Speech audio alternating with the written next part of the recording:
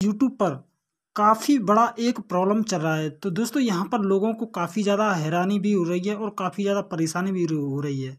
तो दोस्तों, ये बग था, ये दोस्तों यूट्यूब के ऐप में है और दोस्तों, यहाँ पर बाइटी स्टूडियो में भी है।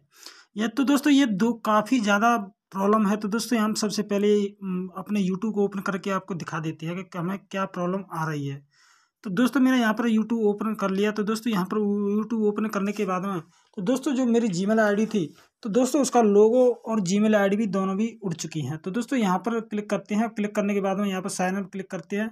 तो दोस्तों इस तरीके का जो कि यहाँ पर रियल अकाउंट से लॉगिन करने का ऑप्शन ही नहीं आ रहा है।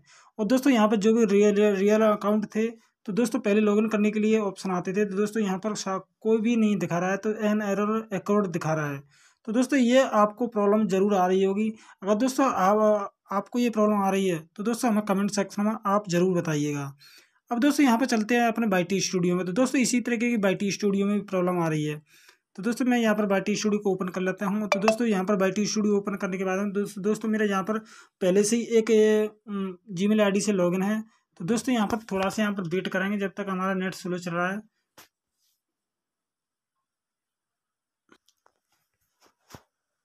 तो दोस्तों, इसी तरीके की बाईटी स्टूडियो में भी प्रॉब्लम आ रही है। तो दोस्तों, जो कि मैंने ये रियल अकाउंट थे और जिस रियल जीमेल आईडी थी, उससे लॉगिन नहीं कर पा रहा हूँ। तो दोस्तों, मैंने दोनों में यहाँ पर लॉगिन करके देखा। तो दोस्तों, काफ़ी ज़्यादा परेशान होने के बाद में ये आपके लिए वीडियो बना रहा हूँ, क्योंकि दोस्तों, अगर आपको ये भी प्रॉब्लम आपको ज़रूर आ रही होगी।